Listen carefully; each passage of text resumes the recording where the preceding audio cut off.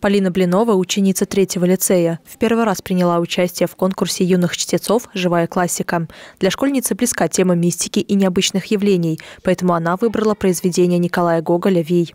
Для выразительного чтения Полина взяла один из кульминационных отрывков, когда главному герою Хаме навстречу выходит Вий. Мне нравятся такие ужастики, какие-то мистические больше произведения, и поэтому я решила выбрать его, потому что я подумала, у меня он хорошо получится в... отчитать. Я очень переживаю, но думаю, то, что я с этим справлюсь, потому что текст я знаю хорошо.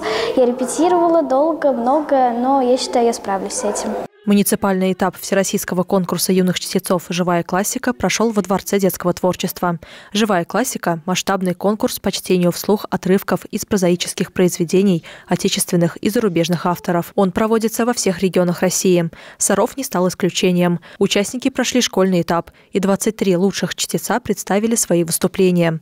В состав жюри вошли учителя и педагоги образовательных учреждений города, среди которых были и члены Союза писателей России. Я выбрала для чтения произведение «Васюткино озеро».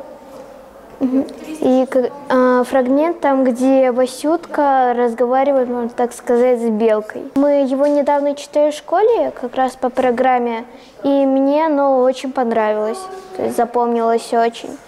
А отрывок, э, ну, он почему-то такой странный, необы... такой необычный, смешной даже чуть-чуть. Жюри оценивало выразительность прочтения, грамотную речь, дикцию, расстановку логических ударений и пауз в произведениях конкурсантов. Некоторые ребята подошли к выступлению творчески и подобрали детали для образа. Бабушка была добрая, и на следующий же день Олечка смогла купить себе шляпу, пояс и перчатки. Победители примут участие в региональном этапе Всероссийского конкурса юных чтецов «Живая классика». Светлана Ярунова, Сергей Рябов, служба новостей Саров, 24.